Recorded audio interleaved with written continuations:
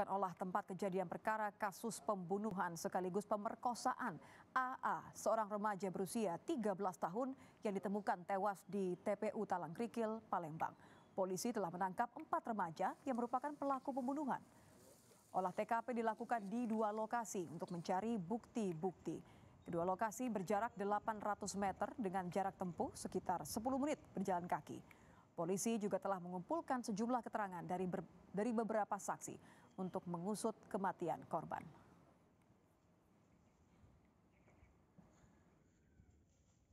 Pokoknya kita masih pendalaman untuk uh, eh, TKP pertama. Siap. Uh, ini ya, cari alat bukti. Siap. Cara investigation. Ya. Benar ada empat orang ya. Pak Dir yang diamankan Pak Dir? Nanti kita sampaikan dalam press conference. Siap.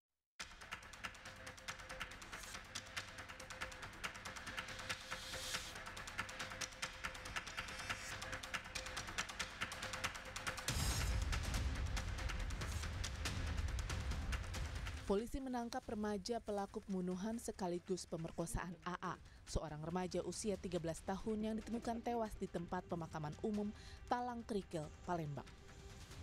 Keempat pelaku yang masih di bawah umur terbukti merencanakan pemerkosaan hingga membunuh korban. Belum terjadi upaya pencabulan maupun pemerkosaan, telah ada upaya untuk melemahkan korban yang berdampak pada korban meninggal dunia di mana tersangka melakukan tindakan bekat mulut dan hidung yang pada akhirnya berdampak kepada pecahnya pembuluh darah karena menahan satu kekuatan. Jenazah AA pertama kali ditemukan warga pada Senin di TPU Talang Krikil, Palembang. Jenazah langsung dibawa polisi ke Rumah Sakit Bayangkara Palembang untuk dilakukan otopsi. Dari hasil otopsi sementara ditemukan bekas kekerasan di beberapa bagian tubuh korban.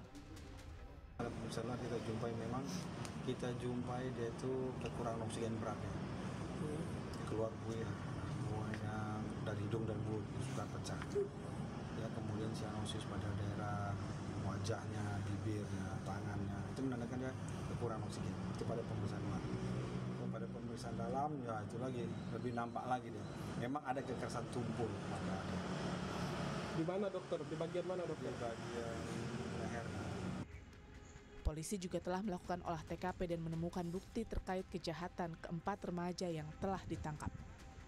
Saat ini korban telah dimakamkan di TPU Talang Krikil, Palembang, tempat jenazah korban ditemukan. Pihak keluarga meminta polisi untuk memberikan hukuman yang setimpal untuk para pelaku. Tim Liputan Kompas TV.